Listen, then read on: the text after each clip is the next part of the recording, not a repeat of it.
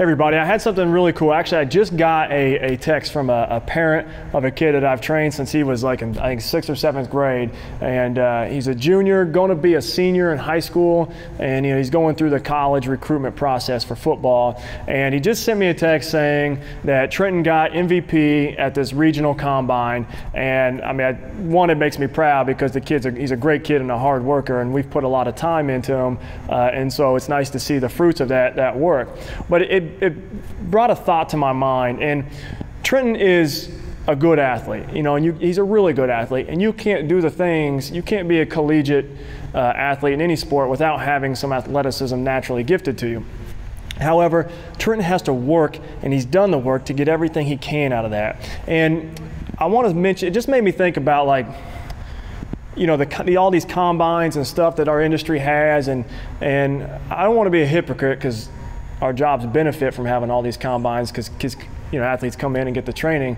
However, I just made me want to think like just talk about let's identify some of these kids that a combine may not help. Like Trenton is a kid who when competition enters the fold, his performance goes way up. If I'm sitting here measuring him for a 40 or a 10 or his vert, he does a pretty good job with it. But the second I challenge him his performance increases significantly. We can put him on a line. So I'll give you an example. Uh, he went down to a camp at a college and they put all the quarterbacks on the line. They didn't, they didn't test the 40, they just put all the quarterbacks on the line and said, everybody run a 40. And he finished first. Then they took him and they put him with the receivers and he finished second. Then they put him with the running backs and he finished first. And I would put my next paycheck on it that if you just lined them up individually, and timed their 40s, Trenton would not have finished that high.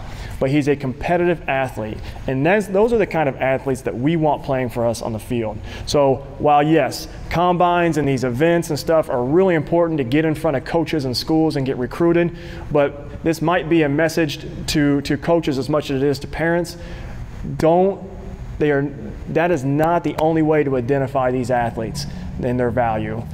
Competition means everything. It's the only thing when we're talking about sports. So congratulations to Trenton.